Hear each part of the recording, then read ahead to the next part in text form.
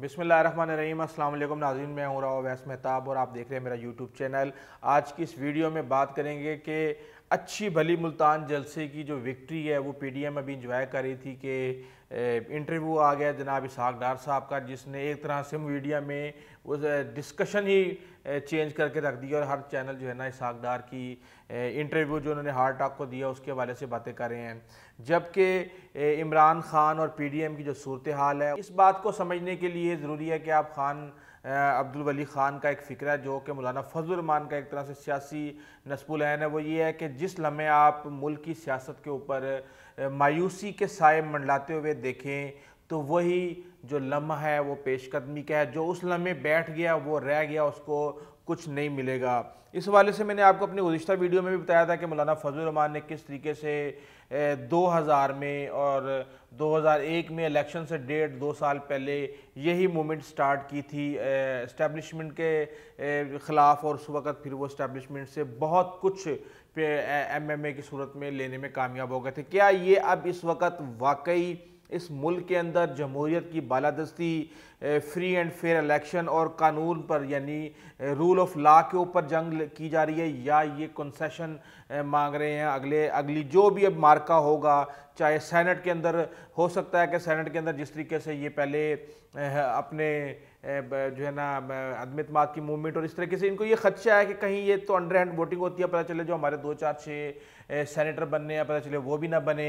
उस हवाले से भी बारगेनिंग करना चाहते हैं, उसके अलावा जो नया अगला सेटअप आएगा, दो ढाई साल के बाद उसके लिए ये बेसिकली पहले ही यकीन दहानियाँ जो है ना, चाहते हैं कि किसके साथ क्या होगा और वो बेसिकली ये एक डील ही है। अब ये मेक श्योर sure करना चाहते हैं कि किसी भी सूरत इमरान खान दोबारा अगले पाँच साल के लिए ना आए, लेकिन इस वक्त जो सूरत हाल है, इस वक्त इमरान खान कहीं भी जाते हुए नज़र नहीं आ रहे। और बात यह है कि जब आपने किसी को भी सियासी तौर पर कमज़ोर करना होता है किसी को बदनाम करना होता है। बेसिकली अब आप मुझे एक बात बताना कि इमरान खान के ख़िलाफ़ करप्शन का तो कोई इल्ज़ाम ही नहीं है। अब मियाँ नवाज़ शरीफ के ख़िलाफ़ करप्शन का एक इल्ज़ाम था तो उनको निकम्मा या इस तरह के चीज़ें नहीं कही गई। अब क्या करना क्या आपने इमरान खान का जो पॉपुलैरिटी का ग्राफ है उसको गिराना है? ये जो मूवमेंट है, इसमें शायद हुकूमत ना जाए, लेकिन हुकूमत की इज़्ज़त अच्छी भली जो है ना, चली जाएगी, इस बात में कोई शक नहीं है। तो उसके अंदर एक ये है कि जी इमरान खान को निकम्मा साबित किया जाए, निकम्मा कैसे साबित किया जाए, उसके लिए क्या बयानी अपनाया जाए, उसके लिए ये बयानी अपनाया जाए कि जनाब फ़ौज ही सब कुछ कर रही है और इसको तो कुछ आता जाता नहीं है। इमरान खान को ये साबित किया जाए कि उसने मुल्क को तबाह बर्बाद कर दिया है और कहा ही जाए कि जनाब मीशत बैठ गई है, मुल्क में बुरा हाल है, लेकिन उसके पीछे आप बैकग्राउंड को जानने की बिल्कुल भी कोशिश ना करें। बहरहाल, इमरान खान की तरफ़ से भी बड़ी गलतियाँ इस बात में कोई शक नहीं है, लेकिन ये इतनी बड़ी गलतियाँ नहीं हैं कि इमरान खान को पाँच साल पूरे ना करने दिए जाए, क्योंकि जमहूरियत जब कहते हैं ना कि बेहतरीन इंतकाम है तो पाँच साल के बाद अवाम ने अपना इंतकाम ले लेना होता है। उसके अलावा उसकी तजलील की जाए, उसको लोगों की नज़रों से गिराया जाए कि लोग उसको एक बस आम सा समझें। जिस तरीके से इनकी इज़्ज़तें उछाली गई हैं जिस तरह टेन परसेंट की कंपेन जरदारी के ख़िलाफ़ चली है, उनके जो भी हैं, बेसिकली बात यह है कि आप अदालत में आज तक कुछ भी साबित नहीं कर सके। जब तक अदालत अपना फैसला ना सुना दे, ये डिसेंसी का एक तकाजा है कि आप उनको नहीं कह सकते कि वो चोर हैं या डाकू हैं, लेकिन उनकी रेपुटेशन हम हम हम जो है, ये मेरी मेरी नस्ल जो है, जो मेरी उम्र के लोग हैं, उन्होंने नब्बे की दहाई में ये सारी कहानियाँ सुनी हुई हैं इसलिए आप जितने भी लोगों को देख लें, आप जो कहते हैं यूथ सारे इमरान खान के साथ हैं, उसकी वजह यह है कि वो सीखने का अमल था हमारा, हमने उस वक्त देखा कि इन्होंने क्या तमाशा किया एक दूसरे के साथ, कैसे एक दूसरे को जलील रसुआ किया है, कैसे एक दूसरों की इज्जतें उतारी हैं। अब मसला यह है कि अब ये उसी लेवल पर खड़े हुए हैं, इनका जो दिमागी काबिलियत है वो उसी लेवल पर है और अब निशाना जो है वो इमरान खान है। इसलिए उसको कहा जाता है, कभी कहा जाता है ये वायरस है, कभी कुछ, कभी उसको नशई कहा जाता है, कभी उसको पता नहीं कैसे कैसे यानी कि चीज़ें कहा जाते हैं, उसको बताया जाता है कि वो तो होश में नहीं होता दस बजे के बाद। उसके जो दोस्त हैं, वो उसके घर के खर्चे उठाते हैं, वो तो अपने घर के खर्चे भी नहीं उठा सकता। लेकिन ये है कि जिसने भी इन चीज़ों पे गौर करना है, उसको मेरे ख्याल से एक इमरा, एक मैं अपना खर्चा खुद उठा सकता हूँ, मेरी क्या औकात है? कोई नहीं जानता मुझे। इमरान खान, जो कि इस मुल्क की टीम का कप्तान सबसे जो है ना, वो शख्स जो कि न सिर्फ़ पाकिस्तान बल्कि दुनिया भर की औरतों के दिलों पर राज करता था, वो क्या अपना खर्चा भी नहीं उठा सकता? तो बात यह कि ये एक बयानिया बिल्ड करना है और इमरान खान की जो हकूमत से ज़्यादा जो है उसकी इज़्ज़त को लताड़ना है ताकि उसकी एक जो सपोर्ट है बेसिकली हमारी जो सोसाइटी है वो बहुत बिखरी हुई है। इसके अंदर कुछ पक्के हैं, कुछ थोड़े से पक्के हैं, कुछ उससे थोड़े से कच्चे हैं तो होता यह है कि आप जिस तरह खुरेजते हैं ना मिट्टी को रग्बी के साथ, उस तरीके से आप ऐसा ऐसा ऐसा ऐसा जो वोट बैंक है, वो आप अपनी साइड पे करते रहते हैं। एक दफ़ा आपने छः लोगों को इन्फ्लुएंस कर दिया, अगली दफ़ा आपने चार लोगों का दिमाग चेंज कर दिया, अगली दफ़ा आपने दस का कर दिया। तो होता यह है कि जब दो ढाई साल ये कंपेनें चलती हैं तो उसके बाद एक बहुत बड़ा पोर्शन दूसरी साइड पे जा चुका होता है और और इस तरफ़ मामला थोड़े से जो कमज़ोर रह जाते हैं। अब ये इल्ज़ाम ये लगाते हैं फ़ौज के ऊपर के जनाब, आज जो इंटरव्यू दिया है, मेरे ख्याल से हम फौरी तौर पे आ जाएँ इस पर क्योंकि टाइम बहुत ज़्यादा गुजर गया है। कि जनाब इसाक डार साहब ने हार्ट टॉक के अंदर इंटरव्यू दिया है, बीबीसी का ये शो है। हार्ट टॉक हमेशा अपने सख्त सवाल की वजह से मशहूर है और यहाँ पे जो भी जाता है, वो एक दफ़ा उसको पसीना ज़रूर आता है। और पाकिस्तान के जितने भी मैक्सिमम जो एंकर्स हैं, वो कोशिश ये करते हैं कि वन बाय वन जिस तरह जवाब दे था इफ्तार साहब का, वो एक तरह से उसकी कॉपी थी। और और भी काफ़ी लोग यहाँ पे ट्राई करते हैं, कई तो बल्कि नाम भी रख लेते हैं अपने शो का इसी तरीके से।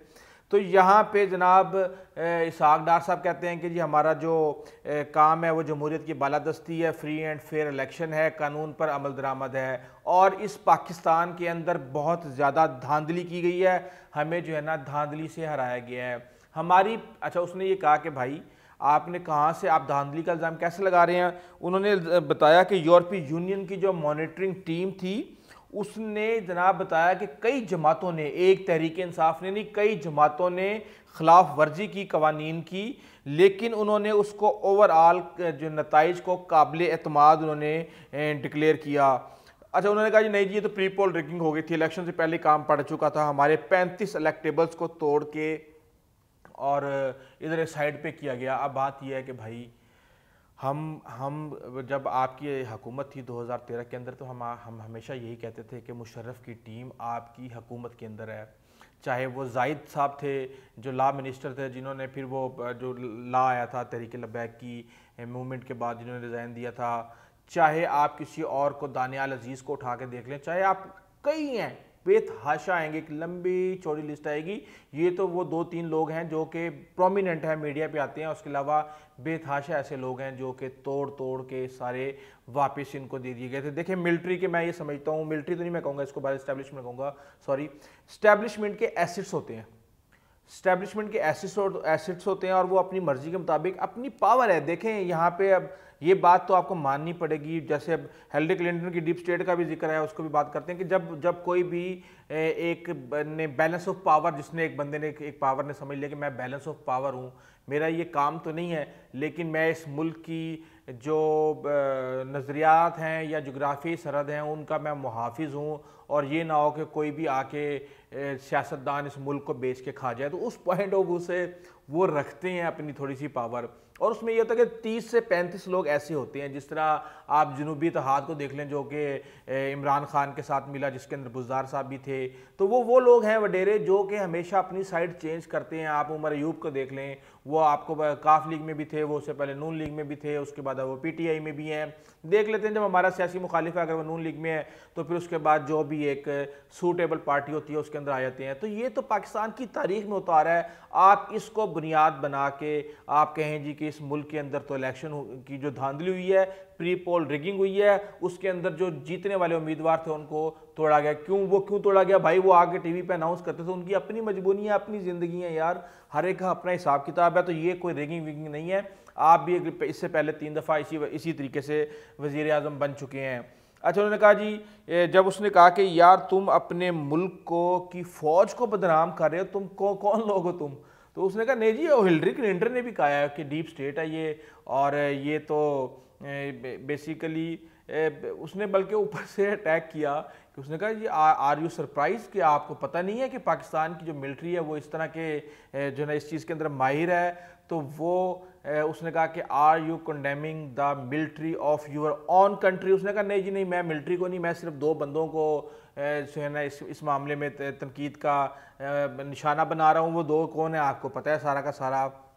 तो भाई मिलिट्री, आप लोग कभी कभी आप लोग ये कहते हैं कि जनाब इस मुल्क के अंदर कभी किसी वज़ीर अजम को जो है ना टाइम पूरा नहीं करने दिया गया? इस मुल्क की तारीख के जितने भी इलेक्शन हैं, वो सारे धांधली ज़्यादा हैं। इस मुल्क के अंदर कभी भी, चाहे नब्बे की दहाई है या इससे पहले की है, ये एक इदारे ने जनाब आपको नत डाली हुई है। तो भाई ये लोग तो पिछले तीन, चार, पाँच साल से काम कर रहे हैं। तो इससे पहले कौन थे फिर? तो वो दो लोग कौन थे? इसका किसको बेवकूफ़ बनाने की कोशिश कर रहे हैं आप? क्या क्या क्या समझते हैं? और मैं ये समझता हूँ कि यार हमारी कौम के अंदर ना थोड़ी सी ये सेंस क्रिएट होनी चाहिए कि वो मुनाफ्त की जाँच करें फौरी तौर पे कि पता चले कि यार ये जो है ना, और उसने प्रोग्राम वाले में जो एंकर था, उसने कहा कि कई ऐसे आपके मुआरे के अंदर लोग हैं जिनको मुनाफ्त का नहीं पता चलता और आपने ज़िया के साथ जनाब हमेशा मिल के काम किया है तो उसने कहा ये हिपोक्रेसी का एक एक अजीम मिसाल नहीं है ये मुनाफ्त नहीं है ये। तो कहते नहीं जी ये ए, उ, उस वक़्त मियाँ नवाशी को बेसिकली उन्होंने कहा जी कि ये इरतका का अमल है। उन्होंने इंग्लिश का भी एक वर्ड यूज़ किया था इसके लिए। तो उन्होंने कहा ये इरतका का अमल है। इरतका का मतलब पता, मैं आपको बता दूँ कि जिस तरीके से जब 2013 के इलेक्शन हुए थे तो उस वक्त मियाँ साहब नजरियाती नहीं थे। उस वक्त कैनी साहब के साथ मिलकर उन्होंने खूब मज़े शजे किए और अपना इलेक्शन जीत गए और अच्छी बड़ी सीटें ली और पहले ही इलेक्शन के रिज़ल्ट से पहले कहा कि मुझे टू थर्ड मेजोरिटी चाहिए ताकि मैं अच्छे तरीके से मुल्क की खिदमत कर सकूँ और फिर सुबह जो है ना आठ नौ बजे तक उनको टू थर्ड मेजोरिटी मिल चुकी थी। तो उस वक्त तक वो नज़रियाती नहीं थे, लेकिन उसके बाद फिर जब डॉन लीग्स का वाक़ आया, उसके अंदर ये हुआ था कि फ़ौज के एसेट्स को दोबारा निशाना बनाया गया था। ज़ाहिर सी बात है, फ़ौज के पास हर तरह के एसेट्स हैं। इस्टेब्लिशमेंट के पास हर तरह के एसेट्स हैं। वो रिलीजियस उसमें भी हो सकते हैं, वो आपके पॉलिटिकल उसमें भी हो सकते हैं, आपकी एजुकेशन के अंदर भी हो सकते हैं, आपके हेल्थ के अंदर भी हो सकते हैं। उन्होंने पूरे मुल्क के ऊपर नज़र रखनी है तो हर जगह पे उनके हैं। उन्होंने उसको टारगेट किया, उस खबर को एक ऐसे आउट किया जैसे फ़ौज खुद इन ऐसे अनासर को पाल रही है जो कि अमेरिका चाहता है कि पाकिस्तान में नहीं पलने चाहिए। तो वो एक तरह से एक सिक्योरिटी कंसर्न बन गया था। तो उसके बाद वो कहते हैं, जी मामला ख़राब हुए हैं। उसके बाद एक दिन मियाँ साहब जब फ़ौज ने थोड़ी सी तनाबें खींची तो मियाँ साहब सोए हैं और सुबह उठे हैं तो वो एकदम से नज़रियाती हो चुके थे। और उनका ख्याल ये था कि बस ये जो नज़रियात मेरे हैं ना यही इस वक्त इस मुल्क को बचाएँगे, क्योंकि इन्होंने मुझे टफ़ टाइम देने की कोशिश की है। मैं तो अमीरुल मोमिनीन एक तरह से बनने जा रहा था, नहीं बन सका, लेकिन मैं इस वक्त मुल्क को बेसिकली क्या मैं आपको बताऊँ कि क्या इनकी पार्टियाँ हैं, क्या इनके सियासी कारकुन हैं, जो इनके बच्चों के पीछे यूँ यूँ यूँ करके चलते हैं तो इनका एक माइंड बन चुका है कि कोई भी हमें ना नहीं कर सकता। इस मुल्क के करता, धरता हम हैं जो हम करेंगे, बस वही ठीक है और जो हमें नहीं कहेगा, जो हमारी ताकत को चैलेंज करेगा, वही हमारा दुश्मन है। तो इस तरीके से ये सारी अब आपको पता है कि ये जो भी इनकी जहानियत, जहानत और जो जहनीत है इनकी वो चल रही है तो उसने कहा, भाईजान, आप वांटेड हैं, आप, और आप जुडिशरी से भागे हुए हैं, यहाँ पे बैठ के आप हुकूमत के ख़िलाफ़ साजिशें कर रहे हैं तो आप जाएँ जाके अपने कानून का सामना करें। उन्होंने कहा, भाई, कानून का कैसे सामना करूँ मैं? तो यहाँ पे एक तो मैं आया हूँ, मैं बीमारी पे हूँ, और बीमारी के अलावा उसके साथ ही वो कहते हैं कि जिस दिन मुझे यकीन हो जाएगा कि पाकिस्तान के अंदर ह्यूमन राइट्स की वायोलेशन नहीं हो रही, और पाकिस्तान महफूज है, और कानून की बालादस्ती है तो उस दिन मैं चला जाऊँगा। तो ज़ाहिर सी बात है, वो तो मियाँ नवाज़ शरीफ के दौर हो सकता है, जब आप जाएँगे। साथ उन्होंने कहा कि जनाब, नैब तो बंदे मार रही है वहाँ पे, और काला काला कानून है वहाँ पे, और नैब को हर दौर के अंदर जो है ना सियासतदानों के ख़िलाफ़ एक तरह से हथियार के तौर पे इस्तेमाल किया जाता रहा है। और उन्होंने कहा, जी, मेरा एक ही घर था, मेरा एक घर के बाद जनाब वो भी हुकूमत ने छीन लिया है। तो उसने कहा, भाई तो यहाँ पे कहाँ रह रहा है? कहता, जी, मेरे बच्चे हैं, मेरे बच्चों ने जो है ना, सतारह साल मेहनत की है। एक इनके बच्चे हैं सागडार साहब के, और एक मियाँ नवाज़ शरीफ के बच्चे हैं, जो कि यहाँ से जो है ना, पढ़ने गए थे, लेकिन वहीं उन्होंने, माशाल्लाह, इतनी बड़ी बड़ी रियासतें बना ली हैं कि बिलियन डॉलर्स के उनके जो है ना, असासे हैं।